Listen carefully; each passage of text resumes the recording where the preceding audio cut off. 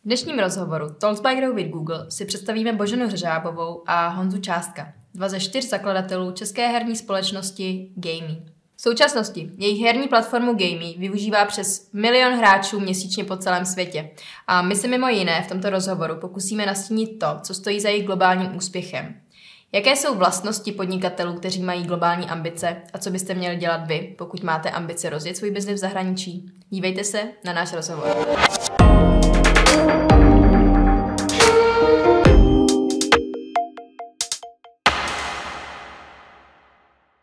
Ahoj, já vás tady vítám, nebo lépe řečeno děkuji, že jste si pozvali i sem uh, k vám mě a zeptám se vás rovnou, kolik vás tady sídlí teďka v této hezké kubistické budově.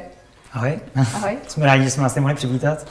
A aktuálně nás tady je 23, 23 lidí a jsme tady přibližně kolem, kolem roku a líbí se nám tady. Jak dlouho gaming vlastně už existuje?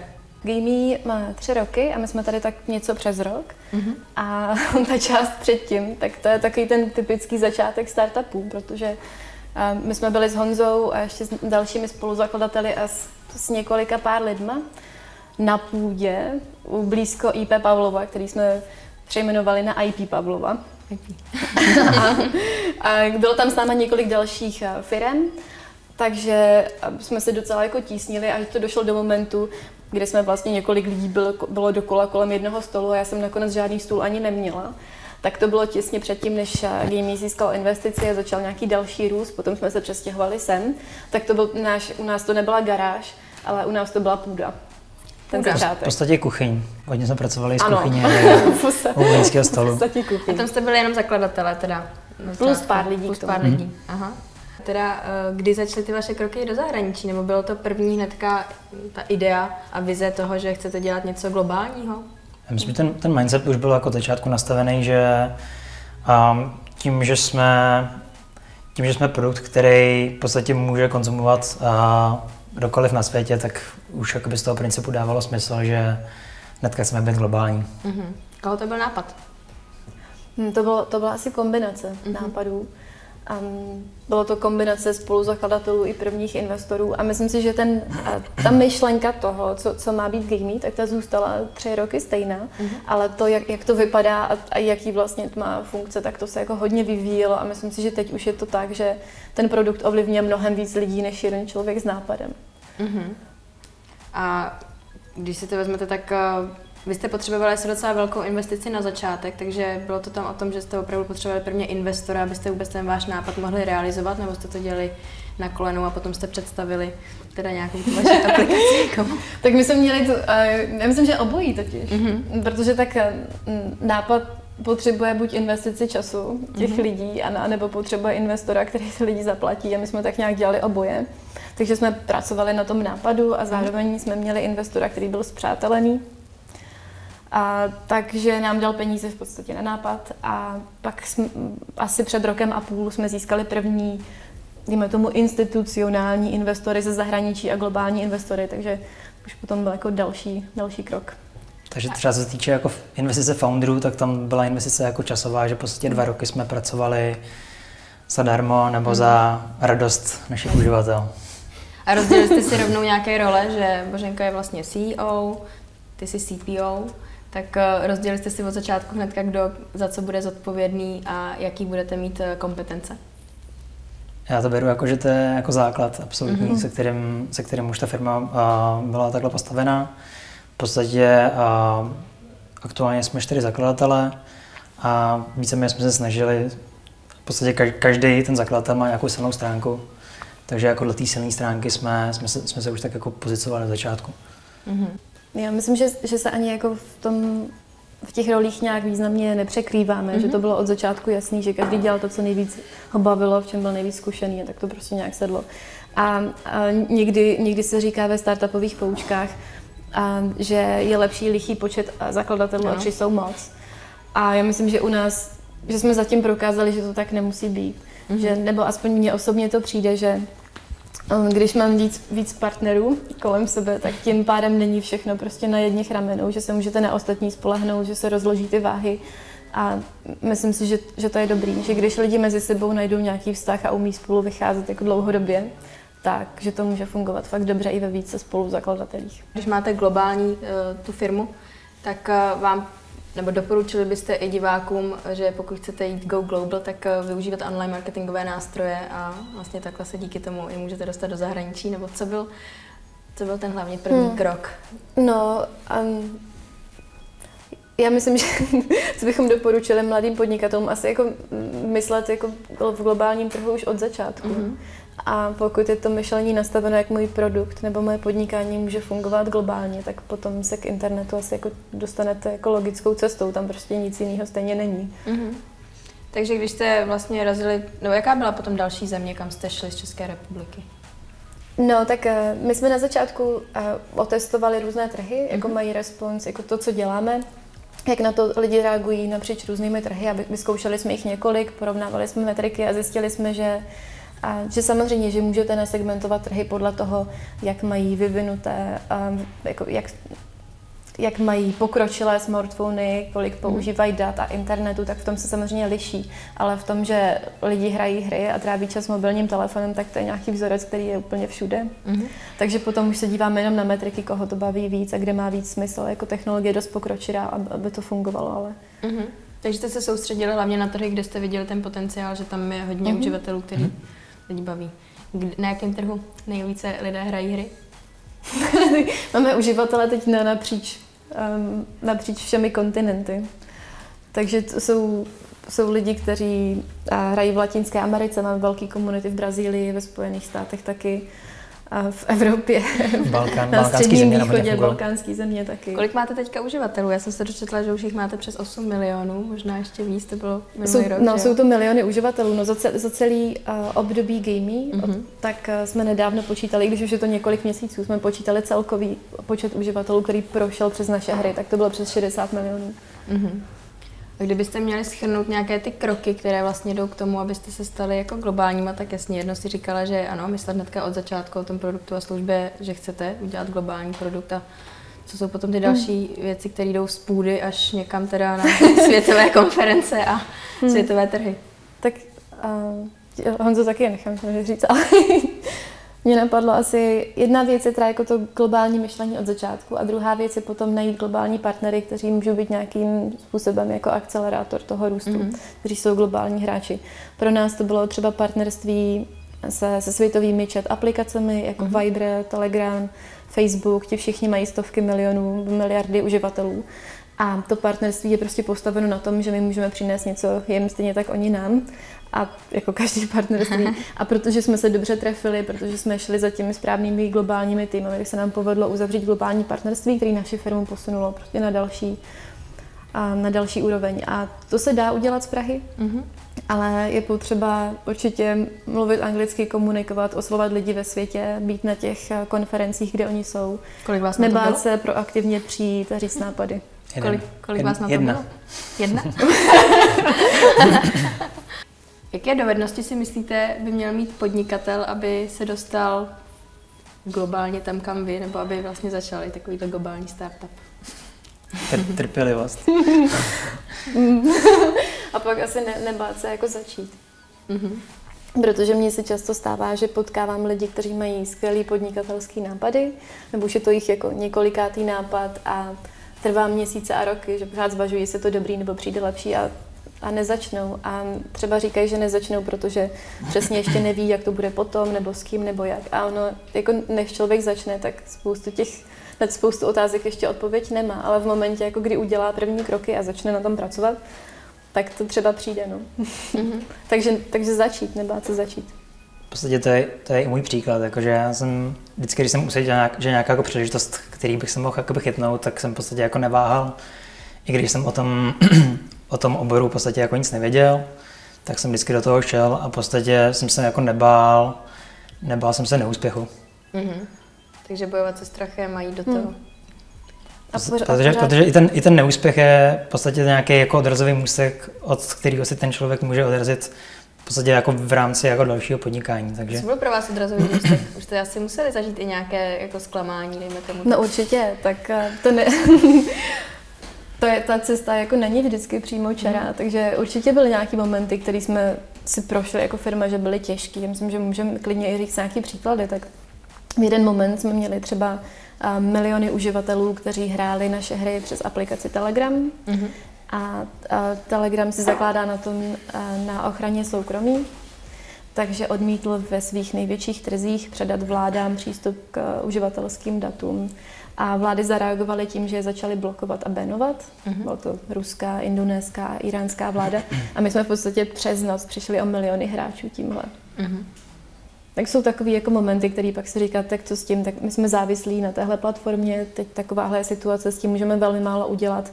A co budeme dělat my jako firma, aby jsme... Tam už o tom je rychle, rychle se adaptovat na tyhle změny. Co jste dělali? Jinak, tak.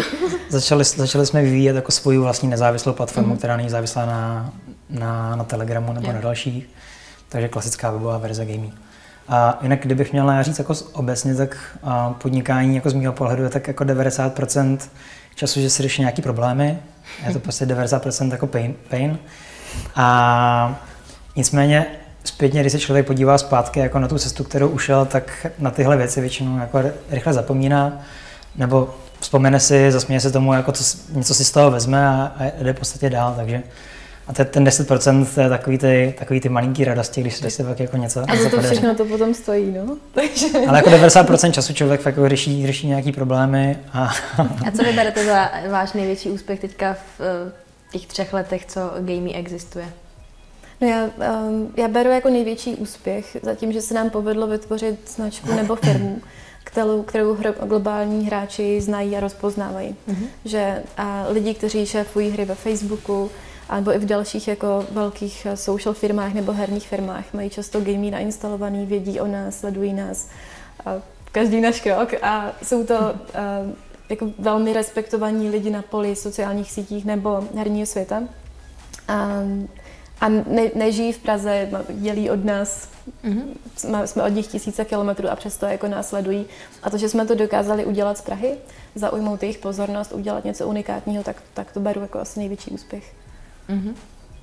Za mě to je jakoby ta unikátnost toho produktu, že, že Gimi je jako natolik unikátní, že v podstatě nic podobného na trhu zatím není. I když, když jsou jakoby, uh, podobné platformy, tak pořád jakoby, uh, si myslím, že jsme jedničkou v té naší oblasti. Zeptám se, eh, vzděláváte se neustále něčím, nebo jaké jsou vaše zdroje, eh, co byste třeba i doporučili divákům, co vás konkrétně inspiruje? Já si myslím, že bez vzdělání to, to nejde. A v podstatě i v rámci gaming, tím, že se pohybujeme na, myslím, v podstatě oblast nebo část trhu, která, která zatím nemá moc konkurence a tu, tu cestičku si musíme probudovat, probojovat sami, tak bez těch, bez, bez jako vzdělávání to rozhodně nejde.